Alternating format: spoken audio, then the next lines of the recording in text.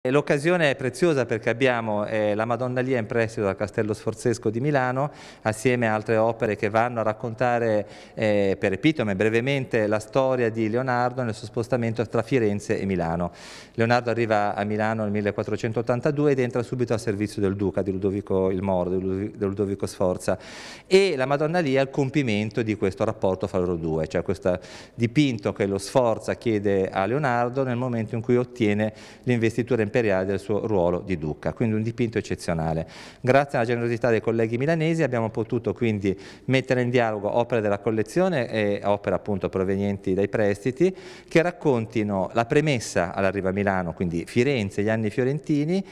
cosa vede Leonardo quando arriva a Milano e come cambia eh, veramente la percezione figurativa la presenza di Leonardo a Milano, per approdare infine appunto alla Madonna Lia. Questa è stata un'occasione per riallestire anche la quadreria del Cinquecento, quindi in qualche modo questo, eh, la presenza della Madonna Lia è un viatico per affrontare la sezione rinascimentale dei dipinti nel nostro museo. Ecco, non solo la Madonna Lia, quali saranno gli altri dipinti in esposizione? Sono eh, dipinti degli allievi, abbiamo uno splendido Marco Doggiono, eh,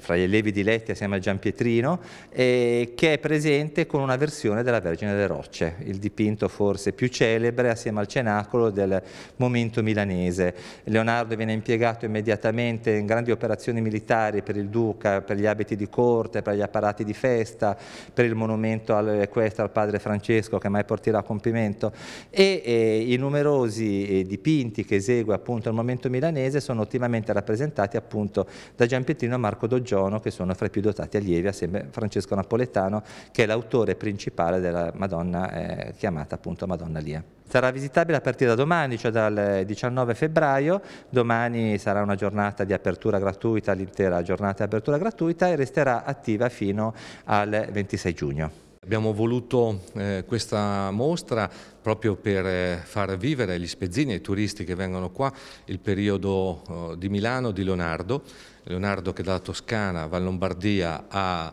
eh, realizzare capolavori che con eh, suo, i suoi aiutanti, la sua scuola, i suoi allievi eh, hanno dipinto cose stupende, abbiamo la fortuna di averne qua diverse, la più importante è la cosiddetta Madonna Lia, una, un dipinto unico, uno tra i più belli al mondo, un'emozione veramente eh, incredibile che eh, proprio ci accompagnerà per questi mesi e sarà visitabile da parte veramente di tutti gli spezzini che si ricorderanno per sempre l'emozione che dà questo quadro, che dà questo dipinto, che dà eh, chiaramente come ogni dipinto le opere di eh, Leonardo da Vinci.